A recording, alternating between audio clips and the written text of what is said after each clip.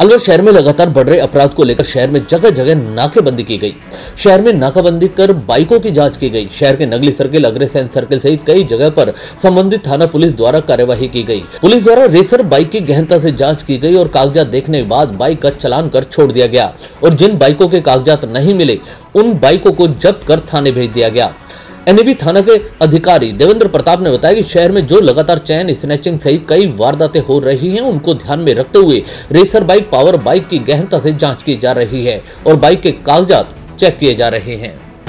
नाकाबंदी वैसे ही पुलिस का रूटीन प्रोसीजर है, लेकिन आज दिन के समय से ही नाकाबंदी की जा रही है।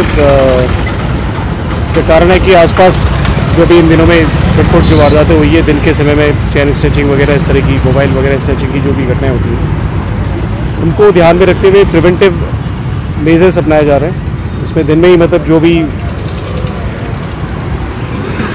स्पेशली जो सुपर बाइक्स हैं, जो भी पावर बाइक्स हैं, उनकी तलाशी ली जा रही है, उनके कागज़ वगैरह चेक किए जा रहे हैं। उन लोग के पास कागज़ भी है नहीं, अगर उनकी नंबर प्लेट इत्यादि अगर मुड़ी हुई है या नंबर नहीं है, या किसी प्रकार का कोई भी ऑल्ट्रेशन कर रखा है तो उनके खिलाफ सख्त कार्रवाई की जा रही है। ताकि आम पब्लिक जो है वो अमन चैन से आराम से रह सके उनके साथ किसी प्रकार की कोई भी वारदात नहीं। जा अभी तक पावर बाइक के तकरीबन नहीं करते करते पंद्रह से सत्रह चालान बनाए जा चुके हैं।